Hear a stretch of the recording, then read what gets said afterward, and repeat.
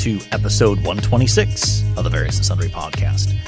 I'm your host, Matt Harmon, joined live from the Vault Studio on the beautiful campus of Grace College and Theological Seminary by my good friend, my colleague, my co host, and the man who, as of next week, will have a new job.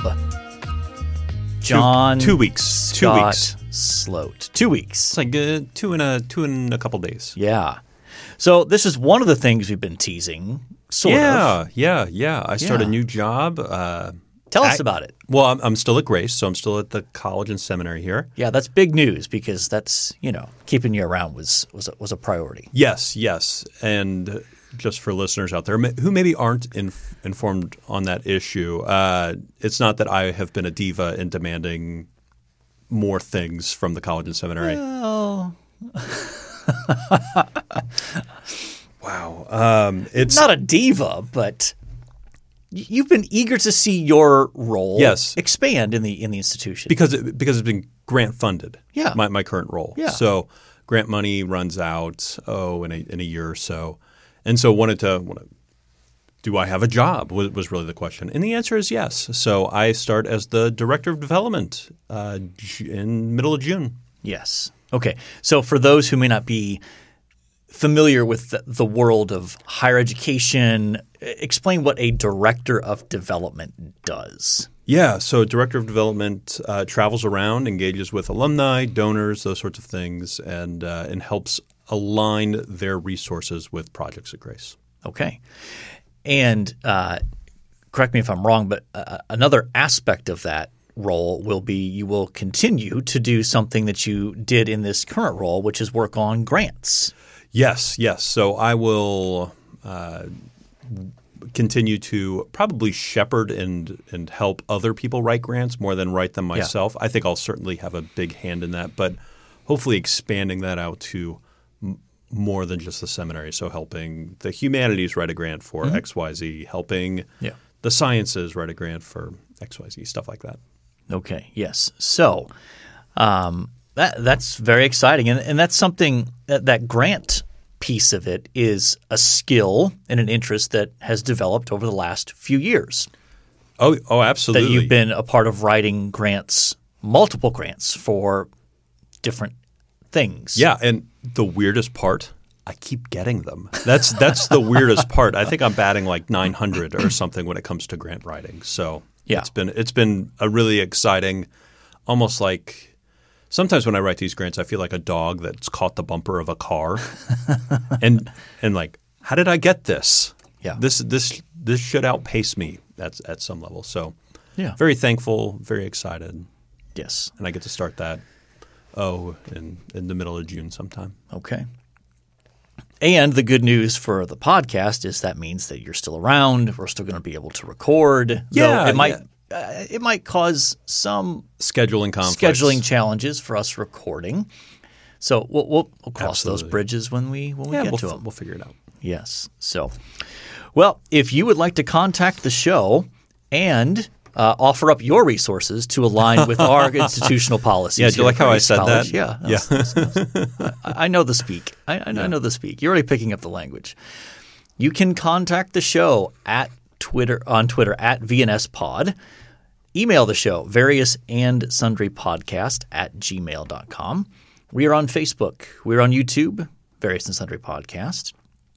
And we would love for you to uh, leave a review and a five star rating. And we had a new one that just uh, came in this past week from a. Yeah. We're, we're putting pieces together. We, we had a new listener reach out to us. Um, so we wanted to give him a shout out. Which we love it when listen when new Love listeners Yeah, it's great. reach out to us. Yeah. It's always a lot of fun. So Yeah. we've exchanged a few emails. And Yeah, so shout out time. to Randy in Tennessee. Uh, yeah. Good to have you on board and uh, appreciate you reaching out to us and then going on to leave a review. So, uh, let's talk some sports. Let's do it. Okay. Uh, not a ton going on. The NBA finals are set, and it's going to be the Boston Celtics and the Golden State Warriors, which um, I, I'm relieved. I didn't want the Heat to make the finals. Why didn't you want the Heat to make the finals? I don't like the fi- I don't like the the Heat. Okay. And I think just their style of play, I think would make for a less entertaining finals than Celtics and Warriors. I think it'll be uh, more uh, up tempo and just more uh, aesthetically pleasing to have Celtics and Warriors. And do you have a pick in the final? Uh, sadly, I think the Warriors will probably win. Okay. this is a no-win situation because I don't really like either of these teams. No, no, I don't. I don't either. Uh, yeah. So I, I know uh, Lee in Indiana is a big Celtics fan, so he will not appreciate us rooting against his Celtics. But yeah, How do you end up a Celtics fan in Indiana?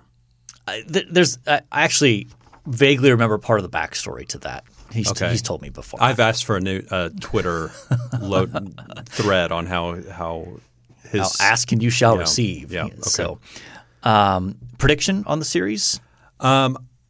So I don't like I don't like the Celtics at all. Uh, I'm probably more of a I'd probably root for the Golden State Warriors. So I'll I'll probably say Golden State in six. Okay.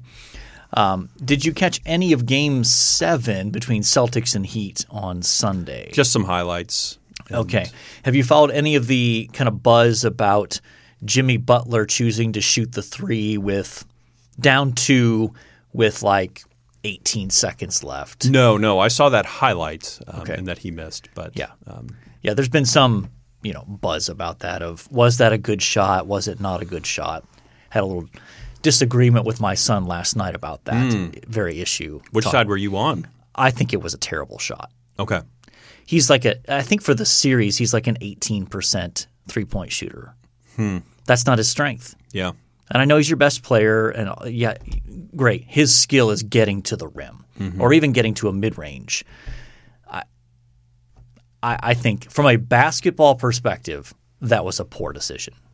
So anyway, but worked out for me because I didn't want to see the Heat win. So, um, I actually watched a little hockey last night. Did you Rangers? Uh, Yeah, uh, it wasn't the most riveting, Carolina? but but it was competition and it was on. So I do love playoff hockey when I do get to watch it. Yeah. it's it's a pretty intense. it is.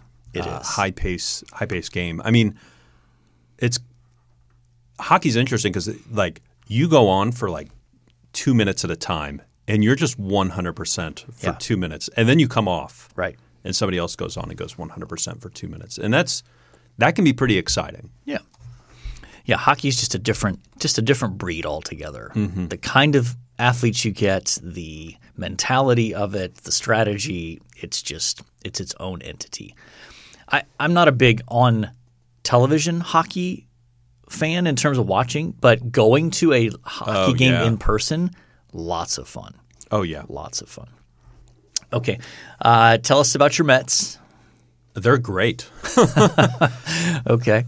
so we're trying to we're trying to uh, make our way through some injuries to our pitching staff right now. Looks like middle late June our pitching staff will be back for the most part, uh, certainly by the All Star break. But, Okay. ri- but right now we're nine and a half games up on the next closest competitor in our division. All right. That's pretty darn good. That that's that's a substantial lead after two months of the season. Yeah, I mean we're we're flying pretty high right now. So Okay. Um, Do you want to knock on the wood table we're recording on here? There we go. Yeah. Uh, so it, it's been it's been a lot of fun to watch. Um, they are playing a different brand of baseball than everybody else. It feels like. So it feels like what's happened over the last 10, 15 years in baseball is like everybody's home run or bust. Right. Where the Mets are now like we just want to hit singles, and it makes a fun brand of baseball to watch where they're just poking singles through, hitting line drives into the outfield, and just creating momentum that way. Yeah. So that's been a lot of fun. There is something to be said for um, when when there are trends in in sports. Like I think especially of basketball. You know, the the big trend ha- over the last you know eight to ten years has been okay. You want to post play is gone. It's spread the floor, drive and kick, threes or layups. Basically, that's Yeah. it. No mid range game, nothing like that. And what some teams eventually figure out is um, Well, we have no chance of winning like that because there are better versions of that already out there, like the Warriors, for example. Like, so some teams I think are finally starting to figure out maybe our best path to winning is doing something different, so that it's a change up to play against. So, uh, Well, it's kind of like it's kind of like the Ravens. Uh, goodness, with uh, Lamar Jackson, where they're going to run the ball. You know, 30, 35 times. yeah, so, and only pass ten or twelve. yeah. Uh, and people going, I had to dust off my play, uh, my defensive playbook from like the '90s or Right. something like that. Right. Uh, but yes, so the Mets are taking the shift. Like everybody's shifting to one side, and the guys are just trying to hit the ball where the people are not. Like they're Yeah. hitting like just ground balls basically into those spaces. yeah. and Seems to be working for them. they're batting like yeah. They, they have some guys that are batting like 330, 340, 350. I mean, just ridiculous numbers. Right. So it's been it's been a lot of fun to watch. Good deal. Good deal. All right. Uh, at this point, it's good for us to remind you that next episode that will drop on June 7th, we will begin our discussion of our summer read, Randy Newman, Mere Evangelism 10 Insights from C.S. Lewis to help you share your faith. We can throw a link to it in the show notes on Absolutely. Amazon. It's not hard to find. It's a it's a pleasant read. It's uh, very engaging. Randy's a good writer, and so uh, if you want to keep track of where we're at, we will be discussing the introduction and the first three chapters next week. So I encourage you to pick that up. And um, yeah, I, I, I'm I'm excited to talk to. We're going to interview Randy coming up in a few weeks. That episode won't air until uh, July 4th week, but so, but I- I'm excited. Randy is a uh, is a very engaging person, great sense of humor. Um, if there's i- if I could only pick one person in the world to ta- to teach me about evangelism, it would be Randy Newman. Really? Yes. So, uh, yeah. So make, make sure you check that out. Ready to talk about our main topic for the day? Uh, sure. Sure. Let's do it. Um, and we're starting we're starting to read that book next week, right? Next episode, we will have episode. our our initial discussion. Okay. Yeah. One to three. Intro and one. Intro and one to three. That's not really a lot, and it reads quickly. So, okay. all right, John, what is our topic for this week? So we have a, a I, don't, I don't know how to describe this. Something a little bit more history focused and culturally focused at the same time. And Yeah. yeah, it's a little weird. So we're uh, discussing.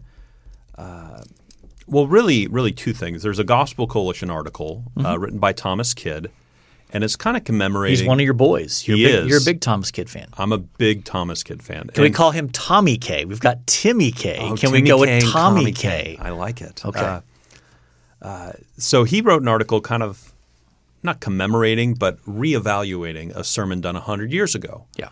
by uh, Harry Emerson Fosdick. Yes. Uh, and he gave a sermon uh, in the 20s, uh, 1922, Yeah. called "Shall the is it shall the uh, where's the Mm-hmm. Shall the title? fundamentalists win? Shall the fundamentalist win? Uh, and we'll outline this a little bit further, but uh, he is not a fundamentalist, and he is the, not a the fan. obvious the obvious answer he's hoping for is God no. Yeah.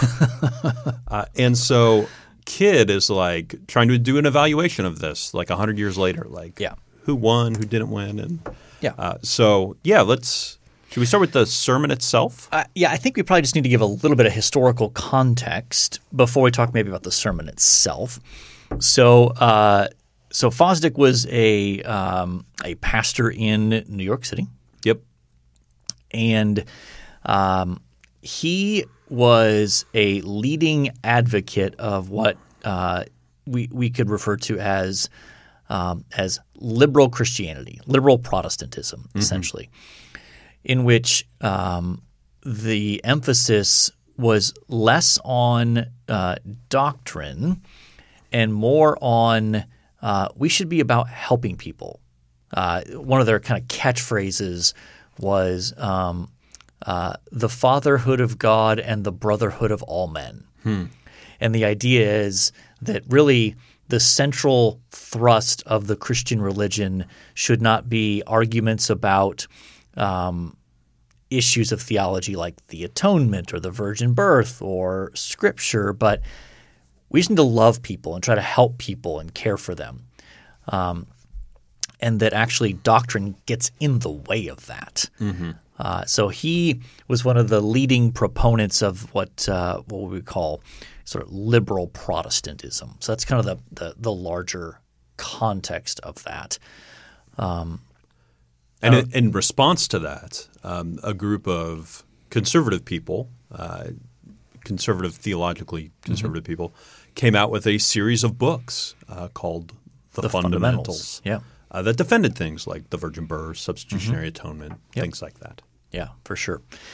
And so uh, there's a sense in which, uh, he, well, uh, we can talk about the sermon now. I think so. The the sermon itself, he he kind of divides uh, Christians into two camps: mm-hmm. the fundamentalists and the modernists. So the fundamentalists, uh, we should probably distinguish that he's using that term maybe a little bit differently than what we think of the term fundamentalist today. Yeah.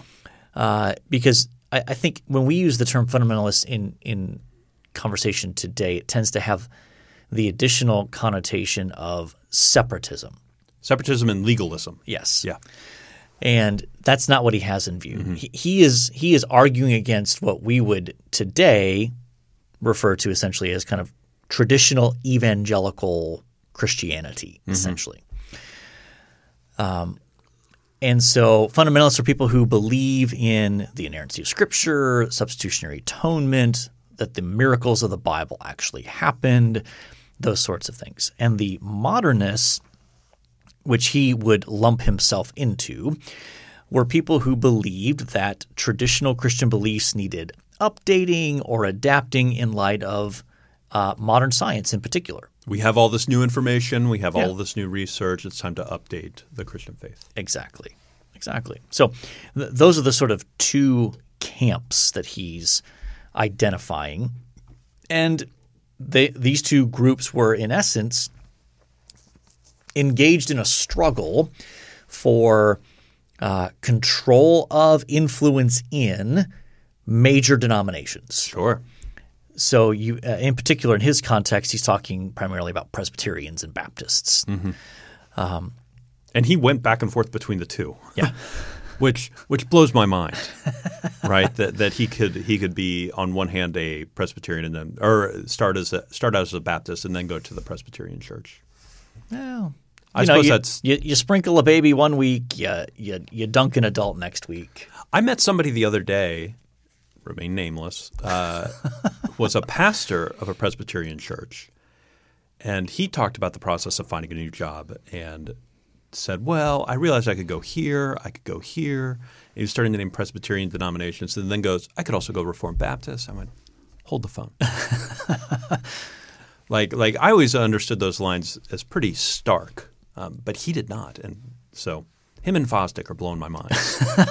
okay, gotcha. Just on that area, yeah. let alone his yeah. sermon. Yeah. Okay. So you ready to talk about the sermon itself? Sure. Okay. Um, you, you want to give some some insights on the sermon itself here to start with? Yeah. Well, he outlines it um, based on Acts chapter five, where you have uh, Peter and the apostles arguing with, or discussing with, or however you want to put it, uh, having a conversation with sort of the Jewish leaders of the day, um, and how the modernists represent sort of the apostles, sort of their new understanding of yeah. Jesus and those sorts of things. They're the innovators. They're oh the, yeah. yeah. oh yeah, they're the ones bringing about change. Right. Uh, and how the uh, Jewish leaders uh, in Acts 5 represent the fundamentalists, these people who are stodgy, don't want to change, yeah. difficult.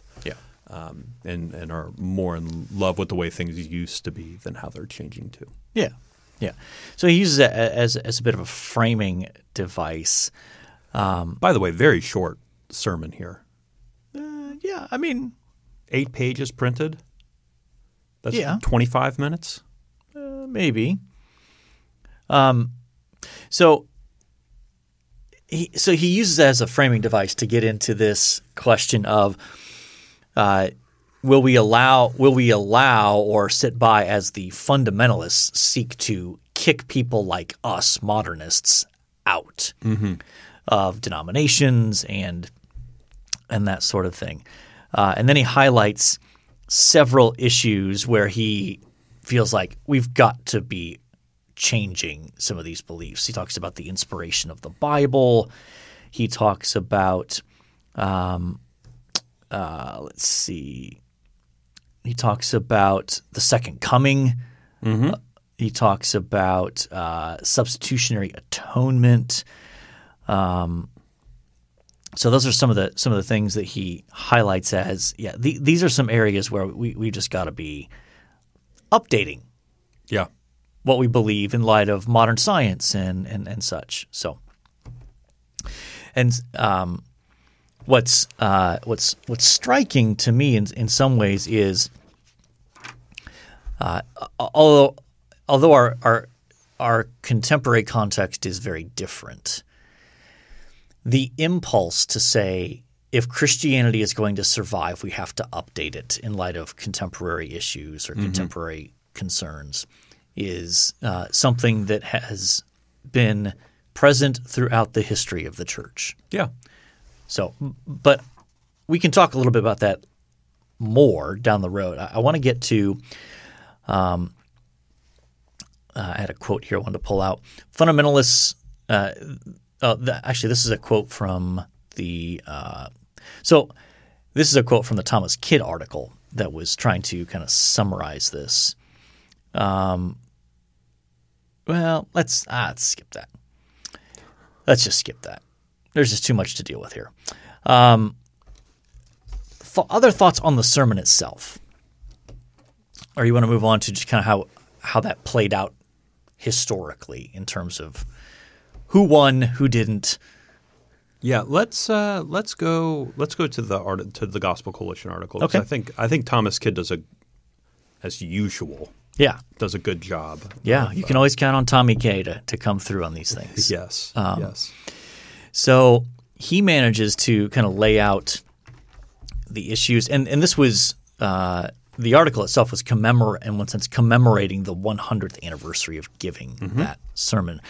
If you scroll to the end of the of the article by Thomas Kidd, there are two other links to an article by Kevin DeYoung and then an article by another person I'm, whose name I'm forgetting off the top of my head that uh, further explore uh, that situation but um, yeah. So how what were what was some of the fallout from from? I mean, you want to be careful about putting too much weight on one sermon, but like let's kind of talk about the fallout that came in light of this sermon as an expression of this, this sort of movement, this modernist movement. for for Fosdick personally.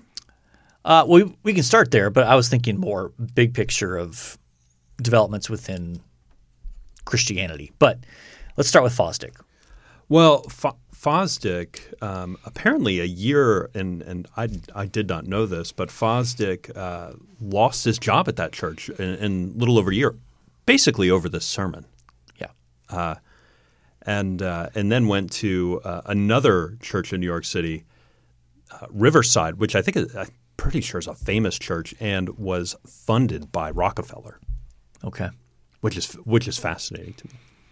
Yeah, I mean, yes and no. I mean, guys like Rockefeller and Vanderbilt and those people, they were And Carnegie, yeah, they were they were they viewed religion as a uh, as a helpful force to teach morals, so that you know society could function properly. but they they not only funded people like Fosdick, they also funded fundamentalists. Right. But to me, I think my sense, I, I could be wrong. My sense is more that they were perhaps not as aware of some of the finer differences between someone like a hmm. a, a, a, a, a Fosdick or a an evangelical church kind of thing. They're like, well, they're churches, they're probably doing good, sure. But that's my sense. I could be wrong. Okay. Um, So yeah, eh, this this sermon ended up costing him his job. Um, what about I was I was going to take this kind of the bigger picture, historically speaking. Um, what were some of the outcomes, historically speaking, uh, within the, the, the within Christianity in general, in the United States in particular, as a result of the sort of modernist, fundamentalist? Well, I mean, I mean, one thing is we, we don't have we don't have a ton of modernists around today. Uh, we don't this this sort of what became known later, I think later, as the mainline Protestant denominations. Mm-hmm. They're not around uh, quite as much. Yeah, I mean, part of the answer to the question of shall the fundamentalists win, it, part of it's complicated by the fact that in the immediate aftermath, say in the 20 to 30 years after mm-hmm. this, uh, when it comes to power and influence within what we come to know as mainline denominations, the modernists won, hands down. Hmm hands down. And in terms of control within, you know, power structures of denominations and even um, uh, it was pointed out within the sort of religious academy. Oh, hands yeah. down, oh, the yeah. modernist won. And it was not even close. It was a thoroughgoing route in well, those contexts. Well, any divinity school you look at, whether it's Princeton or Yale or you know, pick, pick your Duke. Oh yeah, Duke, uh, uh, University of Chicago, Harvard, obviously, Harvard, Yale, yeah, all your Um, Ivy leagues. uh, all of those. Uh, I think to this day still would would hold up a more a more modernist. Uh, Oh, yes. approach, if not if not a full uh, removal of Christianity in and of itself. Yeah, yeah. So, uh, so yeah, from from that aspect, the the modernists did win. convincingly. Yeah, And yet, the irony is when it comes to um, those denominations, they're dying. Mm-hmm. Significantly dying in terms of people in those denom- in the what we think of as mainline denominations. Whereas those that stayed within the sort of the fundamentalist into the neo-evangelical evangelical stream – those have seen significant growth mm-hmm. since that time period. yeah, yeah. So it's one of those interesting dynamics where you've got, well, if you ask the question who won, it depends on what what uh, battleground you're looking at. Oh yeah. Um, and and I thought it was interesting. I was thinking about this. Most of these denominations, most of these mainline denominations, had footholds, particularly in the Northeast, uh, and a lot of those places we see today are, are really gutted of uh, good gospel preaching churches today. Yes. And part of what's ironic is one of the main impulses of the of, of this modernist movement was we have to update Christianity if it's going to survive. Mm-hmm. So they went ahead and updated their version of it, and their version died. Yeah, Whereas the version that was not updated has sur- not only survived, but thrived numerically in some ways mm-hmm. at the sort of common man level, not in the academy, not necessarily in denominational power structures, but when it comes to the kind of the ordinary person on the street, it, it was a decisive route for the fundamentalists in this sense. Well, and it led. I know we're using fundamentalist and evangelical almost interchangeably. Historically speaking, at that point, Yes. Yes. At the point that Fosdick is talking about, yes, they uh, are essentially equivalent. Uh, it did lead some fundamentalist leaders to start new institutions, Yes. um, to leave some of the Princetons and and uh, go out and start Westminster, for example, with uh, uh, Machen. Machen. Yes. Yep. Uh, Who, who and- by the way, wrote short I think his famous book, Christianity and Liberalism, Mm-hmm. was published, I think, a year after Fosdick's sermon. oh, really? Yes, 20, Hmm. 1923, and we've got a link to it in the uh, in the in the notes here. We'll, we'll make sure we get that in the show notes. But um, so yeah, and, and that is still a classic. That you might think, like, oh, well, that's about what's going on in the 1920s. No, no, no, no. It is, but it's one of those timeless classic books that's well worth reading now. Anyway, I'm sorry I interrupted you. You were kind of search. Fundamentalists started their own institutions. Yeah, and I mean that's that's where we get a lot of our Christian institutions today. Um, Yeah. uh, even denominations. And i in particular, if you start to look at seminaries, you know, evangelical seminaries, a lot of them end up having their origins around around this time period. Oh yeah, oh yeah. Uh, Grace Seminary comes up during this time period. Also, Thir- 1937. 37.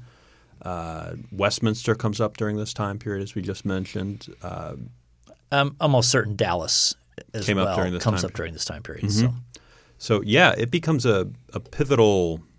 I don't know if sorting is the right word, but there mm-hmm. there is a there's a big sort that happens here. Yeah, and, and part of what's interesting historically speaking is you so you have this split fundamentalist and modernist, and then um, in those kind of couple of decades after this, you you start to get the split between what we think of as fundamentalists today mm-hmm. and evangelicals. This sort of and, and that that pivoted on the issue of to what extent should we try to engage the world. Yeah. And the fundamentalists were like, been there, done that, got burned, we're done. Mm-hmm. And the sort of evangelicals, neo evangelicals were like, I think we should make an effort. Mm-hmm.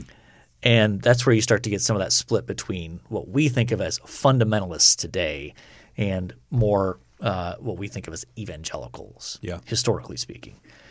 So, um, yeah, I, I think it's it, it's one of those interesting dynamics um, to, to think about when it comes to um, Kidd, Kidd also made the interesting point that uh, in missionary efforts, the fundamentalists sent out a lot of missionaries in, Yeah. in foreign missions or even church planting uh, that the modernists never did, right. um, and therefore won that battleground as well.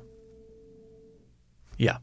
So um, it, I I think part of what makes this an interesting discussion is getting back at that impulse of if Christianity is going to survive, we have to update it in light of you know contemporary sensibilities, contemporary you know scientific Oh yeah, uh, consensus, etc. Um, and so th- that's that's something you still hear. You, you hear it every day in one sense, but um, you know it, it takes different forms. So you know, twenty years ago it was the emerging church. Oh yeah. We have to update this and that, and all the old ways are wrong. And and and I think part of what gets tricky in those conversations is those uh, those movements are often hitting on something that is a legitimate weakness within the church, within the evangelical church, but their proposed solution is so egregiously wrong yeah, that that it can be hard for us as evangelicals, I think, to to hear the point of critique and go, yeah, yeah, that's a weakness we need to address.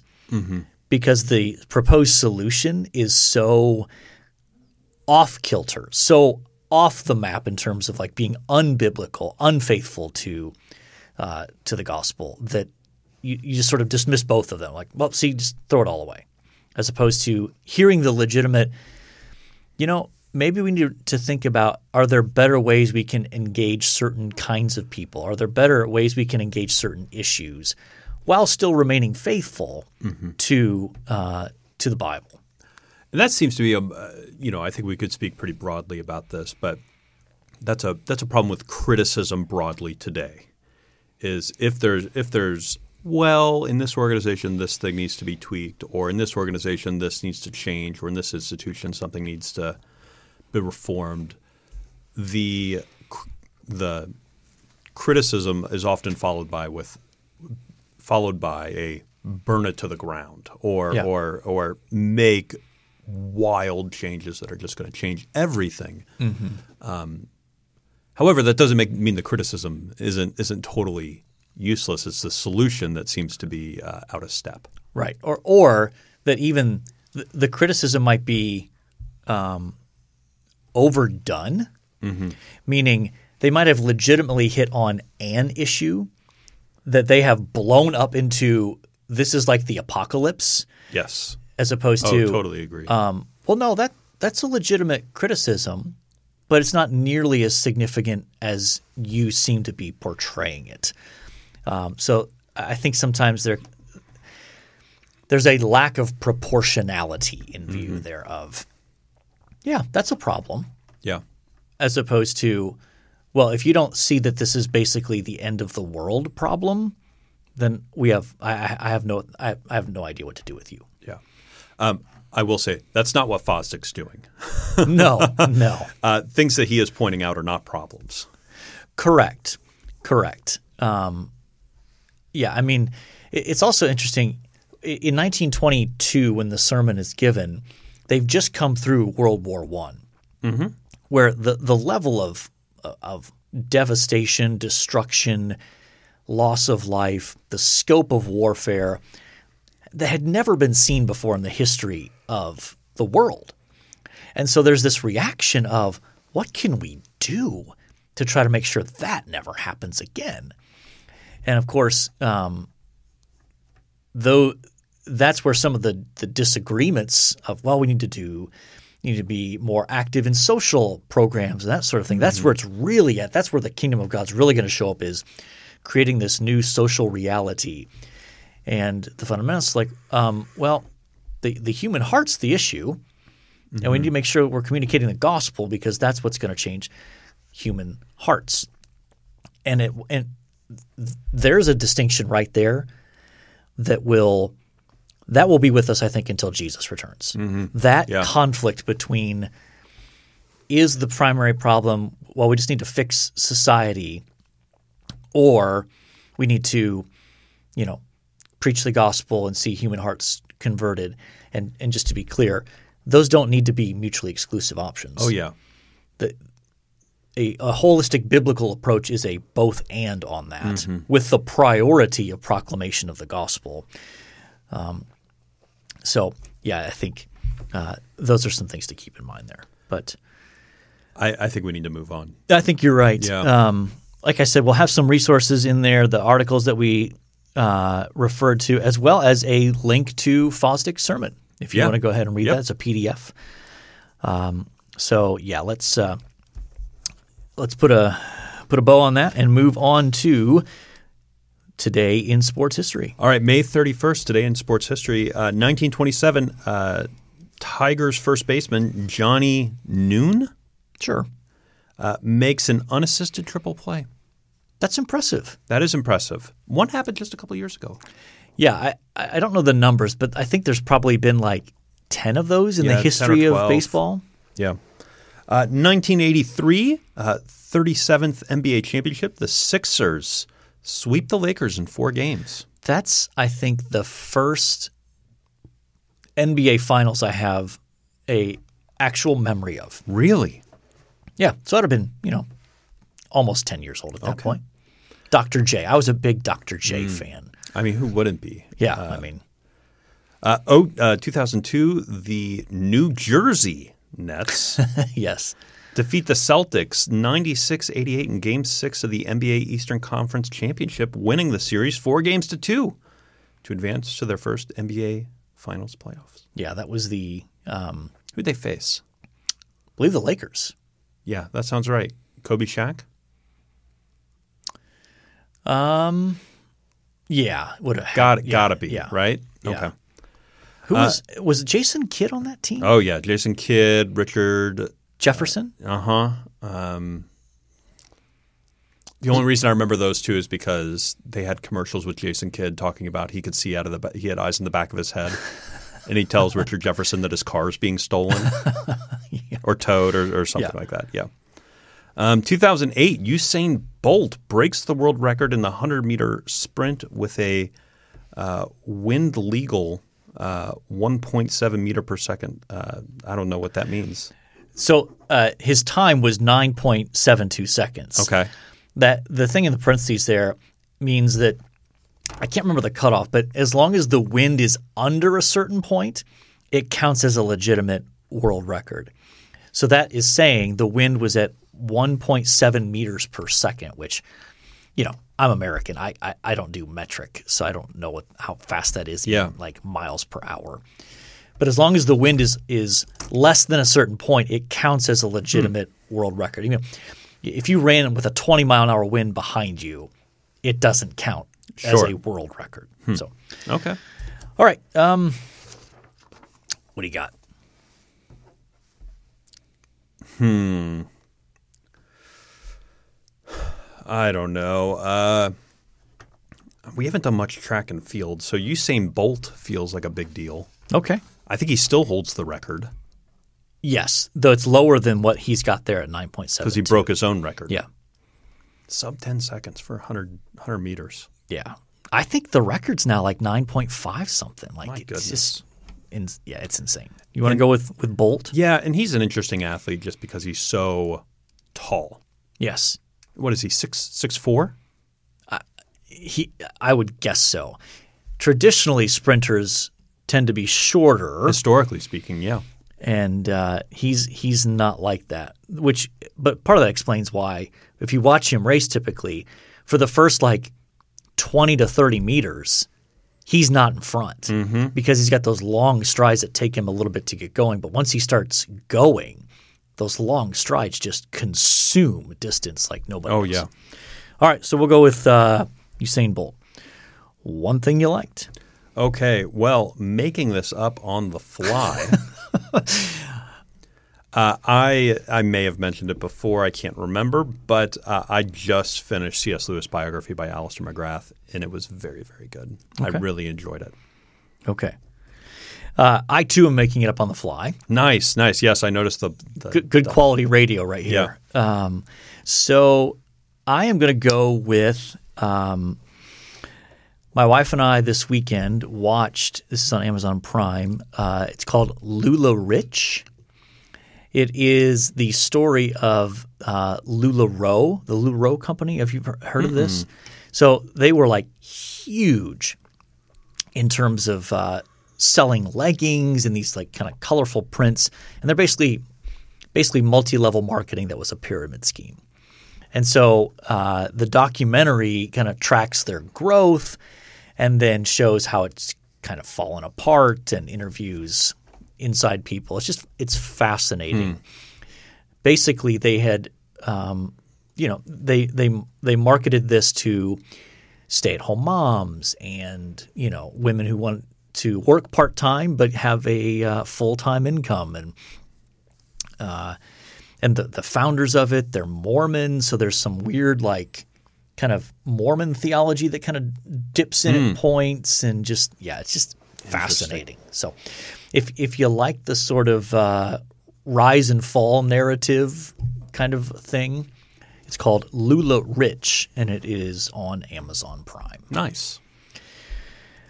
all right we have talked about john's new job Yeah, Congr- congratulations again thank you. I will expect you to now be raising money for my uh, bonuses coming up this next few years. So uh, we have talked about our summer read. Reminder: next episode we will be discussing chapters, uh, the intro and chapters one to three of Randy Newman's book Mere Evangelism. We have talked about shall the fundamentalists win, and we basically concluded it depends. It depends. Yes. Uh, we talked about Usain Bolt. We talked about um, an interesting documentary series that I watched on Amazon Prime. We talked about a C.S. Lewis biography.